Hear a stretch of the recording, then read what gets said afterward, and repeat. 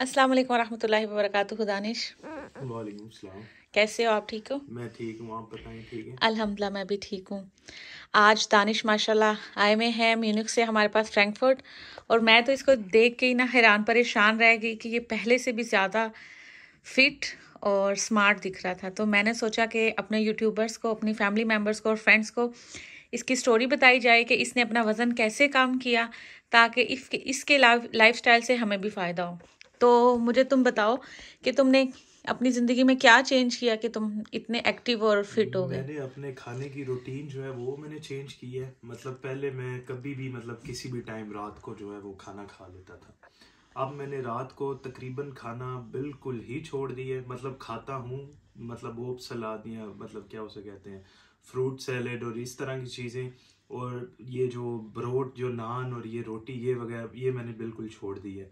और दिन को भी मैं ये नहीं खाता, चावल भी मैं नहीं खाता, दिन को मतलब ज़्यादा मैं कोशिश करता हूँ सलाद और फ़िश और इस तरह की चीज़ें जो है ना, वो खाई जाएँ या अंडे खाए जाएँ।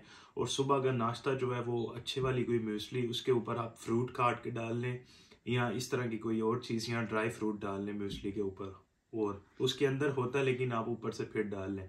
और नाश्ता जो है, वो मेरा अच्छा था। और दिन का खाना मेरा ज़्यादा अच्छा था और रात को मतलब बिल्कुल मैं खाना तकरीबन नहीं खाता था। और ये मैं तीन मंथ से कर रहा हूँ और साथ थोड़ी सी मैं एक्सरसाइज कर रहा हूँ, बहुत ज़्यादा नहीं, सिर्फ़ मतलब के जिस्म को जो है बॉडी को वो थोड़ी सी मूवमेंट जो है मिलती रहे।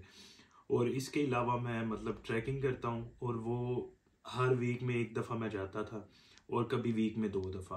और ये मैंने तीन मंथ किया है और पहले मेरा वज़न था नब्बे किलो और अब जो है वो मेरा वज़न फिर से जो है सेवेंटी एट के जी हो गया। तो दानिश तो दानिश मेरा एक सवाल है। जैसे कि हम अपने देसी लोग हैं वो कहते हैं कि रोटी चावल छोड़ देंगे और ब्रेड नहीं खाएँगे तो हमें ताकत नहीं मिलेगी हमारी भूख नहीं उतरती। तो तुम अपना एक्सपीरियंस बताओ कि तुमने तुम भी तो देसी बंदे हो पाकिस्तान से आए हो रोटी माँ की हाथ के खाने के आदि चावल के आदि। तो रोटी छोड़ के चावल छोड़ के तुम्हें कभी भूख नहीं लगी? तुम्हें फील नहीं हुआ कि मेरा पेट खाली है? देखिए कि पाकिस्तान में जब हम रोटी वगैरह खाते थे उसके साथ हमारी जो मूवमेंट थी वो भी थी।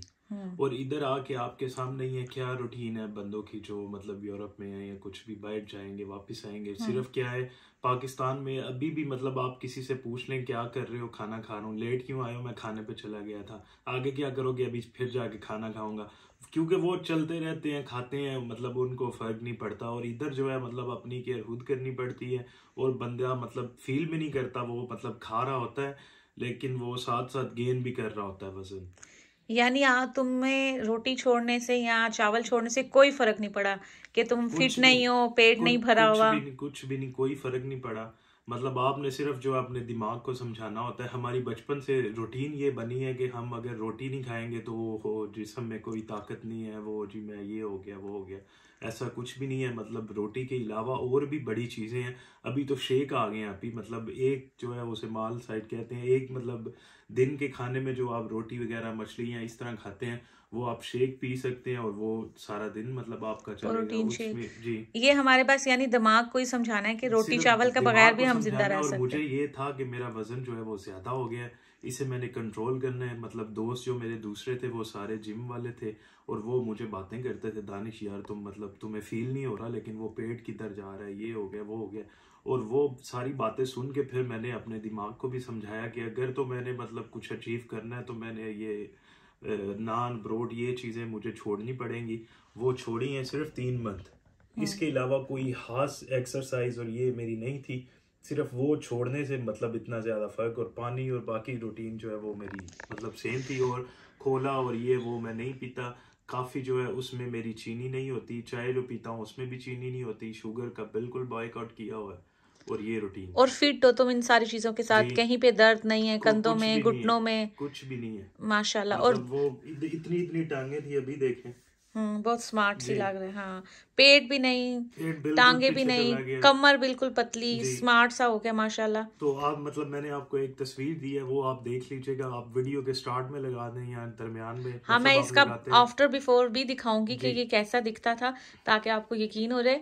मुझे लगता है कि वीडियोस में स्टार्ट के में तुम दिखते भी थे तो थोड़े से मोटे लगते थे लेकिन अभी बिल्कुल तुम स्मार्ट हो चुके हो। इवन इसकी डाइट करने से और वज़न कम करने से स्किन भी ग्लोइंग हो गया। ऐसा ही है वो एक्स्ट्रा मतलब वो फील होता है ना मतलब पहले शुरू में नहीं फील होता वो पेट जो है वो पीछे जाता है उसके बाद मतलब आपका सारा जिस्म जो है चेहरा ये वो सारी चीज़ें जो है वो पीछे चली जाती है। हाँ और स्किन फ्रेश हो गई है। बाल माशाल्लाह अच्छे हो गए हैं। बाल भी अच्छे हो गए हैं। हाँ। वो मैं गया था लास्ट वीक मतलब बार्बर के पास उसने मुझे बोला था भाई आपने बालों पे क्या किया वो ठीक हो गया। हम्म। वो अब रूटीन चेंज हुई है रूटीन यानी रोटी चावल सिर्फ़ हम कार्बोहाइड्रेट लेते रहते हैं अपने विटामिन मिनरल्स फाइबर नहीं लेते। उनका इनटेक तुमने स्टार्ट किया है तो तुम्हें बालों में स्किन में भी फ़र्क पहले मुझे मतलब लगता था कि बाल जो है वो मेरे इतने ज़्यादा गिर रहे हैं। अभी मुझे बार बार ने बोला भाई बाल बिल्कुल सही हो गए। माशाल्लाह। जी। जजाकुमुल्ला खैरन कसीरा दानिश आपने अपनी स्टोरी हमारे साथ शेयर की। जी।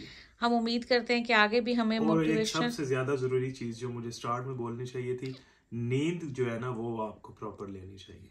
हम्म, तकरीबन आठ से नौ घंटे।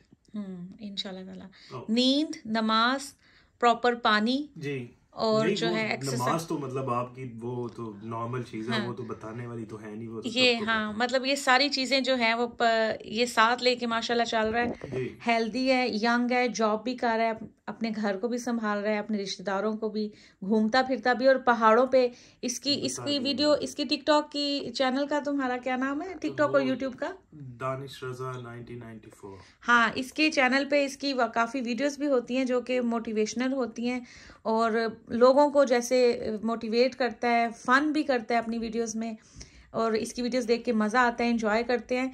और ये सर्दियों में तो हाइकिंग नहीं काला लेकिन गर्मियों में बहुत हाइकिंग करता है। और मज़ा आता है इसकी वीडियो को देख के। खुश रहो आबाद रहो अल्लाह ताला तुम्हारी ज़िंदगी में आसानियाँ करे और तुम आसानियाँ करने और आसानियाँ बांटने वालों में रहो। अल्लाह पाक हम सबको सलूक इतफाक हिम्मत दे के हम दार गैर में अपने अल्लाह को अपने रिश्तेदारों को राज़ी रख सकें। खुश रहें, आबाद रहें। मुझे, मेरी फैमिली को सबको दुआ में याद रखिएगा। इंशाल्लाह मिलते हैं नेक्स्ट वीडियो में। अल्लाह हाफिज़। अस्सलाम वालेकुम वरहमतुल्लाहि